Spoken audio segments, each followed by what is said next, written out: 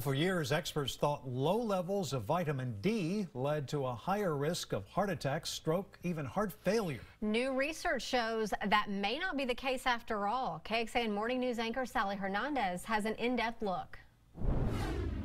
Yeah, a number of previous studies found if you have low levels of vitamin D, then you have a higher risk for heart attacks, even heart failure.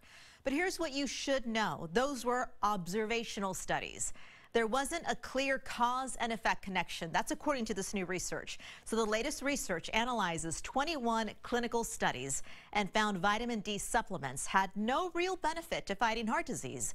The study found no decrease in major cardiovascular events in people taking vitamin D supplements, no drop in heart attack rates, stroke, or death.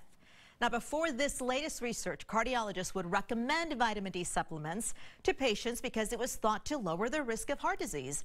But cardiologist Ed Shavazeda of St. David's Medical Center was not entirely convinced. It's a little bit of the story of everybody kind of wants a pill that's going to make them healthy, and I just don't think there's a pill that does everything. And the idea has always been that vitamin D helps with bone health, it helps prevent diabetes, it helps with heart disease.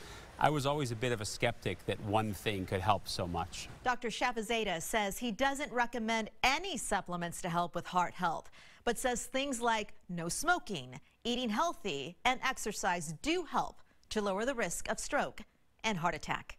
In the studio, Sally Hernandez, KXAN News.